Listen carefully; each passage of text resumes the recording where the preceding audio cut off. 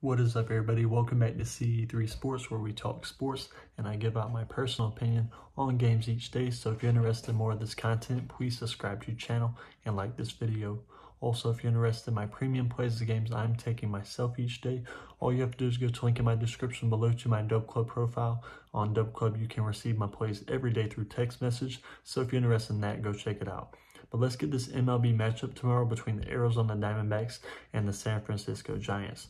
The Diamondbacks 53 and 61 on the year, and the Giants finally got their record back to 557 and 57 on the season.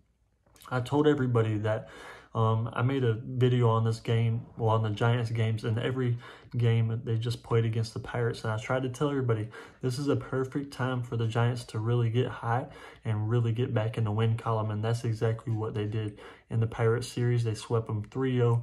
Last night they hit a walk off home run to beat the Pirates 8 7 in the ninth inning.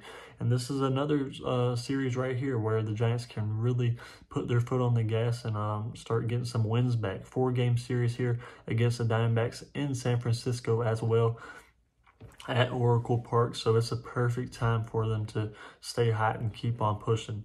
Madison Bumgarner on the mound tomorrow for the Diamondbacks, 6 and 11 record, 4.13 ERA. Alex Cobb on the mound for the Giants, 3 and 6 record, 4.15 ERA. Like I said, I know the Diamondbacks are playing all right right now, 3 and 2 in their last five.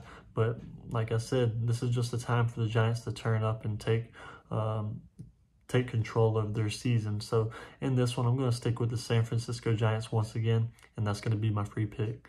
If you're interested in more of this content, please subscribe to the channel and like this video.